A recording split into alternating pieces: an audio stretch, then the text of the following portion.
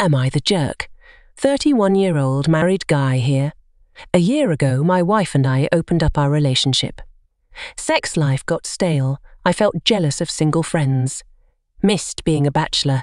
Started resenting my wife. Suggested an open relationship for survival. First few months were great.